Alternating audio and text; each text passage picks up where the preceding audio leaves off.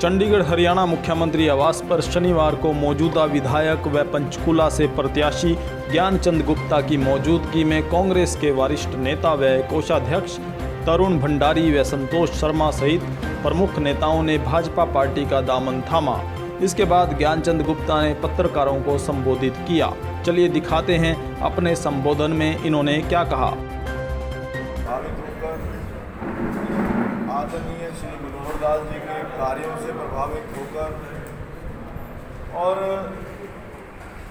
जो काम देश के अंदर हुए उन कार्यों से प्रभावित होकर आज श्री तरुण भंडारी जी, जो कांग्रेस के प्रदेश के नेता रहे हैं, कोषाध्यक्ष रहे हैं, प्रवक्ता भी हैं, और श्रीमती संतोष शर्मा जी जो गौशाला, गौ पशुधन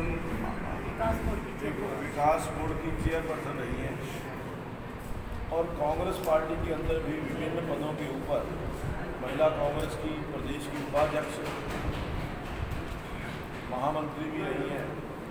और उसके साथ साथ श्री रविंद्र बतौड़ जी, जो जिला परिषद के पूर्व चेयरमैन हैं, और पाँच बार गाँव बतौड़ के सरपंच रहे।